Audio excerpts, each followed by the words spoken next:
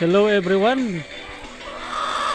Good morning po sa inyong lahat. Ngayon po ay Sunday. Ah, as usual, dito tayo sa ating mini poultry. So ngayon po ay nandito tayo para i-monitor natin yung mga manok kasi yung ah, panahon dito ay napakainit ngayon.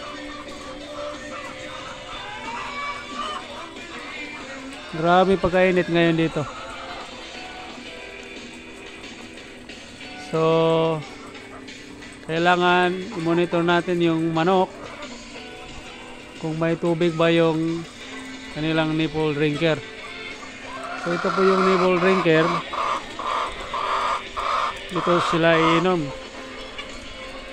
Uh, tingnan natin yung isa dito. Parang ano nangyari na eh. Ah, okay na, okay lang pala. So ito yung ah, nipple drinker. Kailangan may tubig yan. Naglagay po tayo ng ah, vitamins. Ah, ngayong kasi mainit po yung panahon. So alam natin na ang manok kailangan po ng tubig. So mahirap pag walang tubig yung ating mga manok. Kasi tulad yan, nangingitlog yan, no? Yung isa na yan, no? So lumabas ang itlog, oh. Kumulong yung itlog. So kailangan ng tubig. Okay? Kasi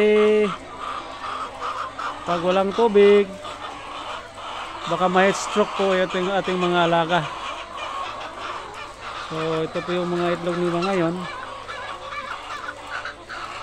So mamaya ko ating uh, i-harvest po natin yan mamaya. So dito banda napakainit yung panahon dito. Yung area na ito kasi nandito sila sa may gilid no. So kanina yan po nilinisan natin kanina. Kasi napakainit po dito. Yung isa na natin na pumipikit yung mata, baka mangingitlog yan. So monitor palagi natin yung water. Lalo na pag ngayong uh, tag-init. Yun po yung mga itlog nila ngayon.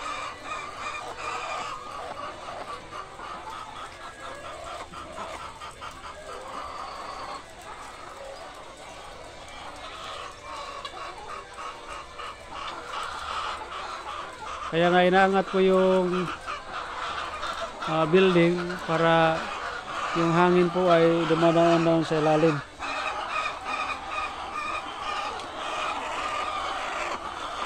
So, okay naman ito sa likod kasi harvest na po yung mga palay.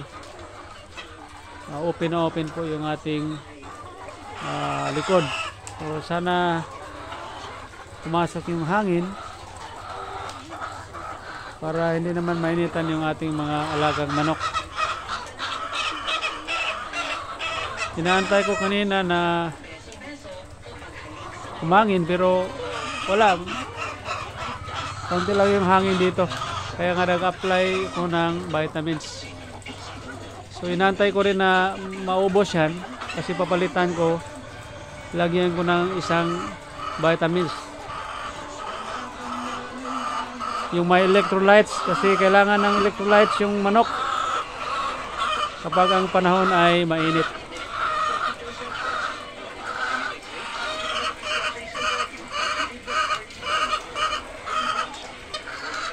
uh, mamaya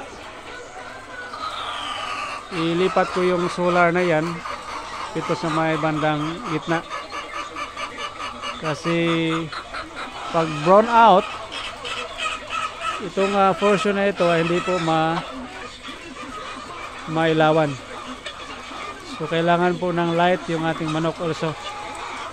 Uh, pag mayroon tayong uh, light kung ilang oras kailangan nila ng light.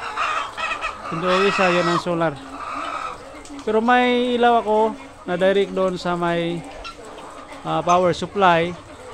Pero yung ating ah, LED light.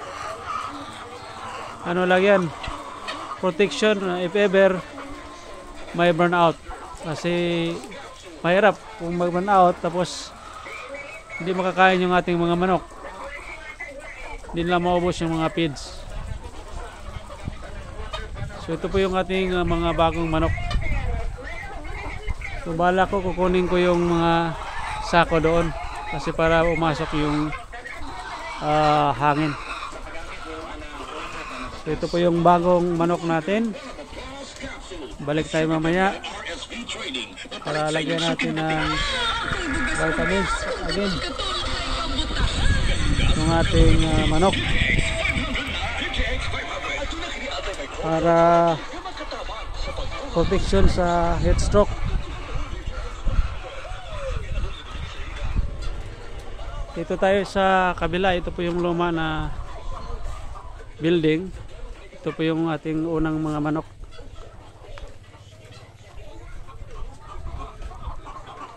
Ito po yung misis ko. Siya po yung nag-alaga ng ating mga manok dito.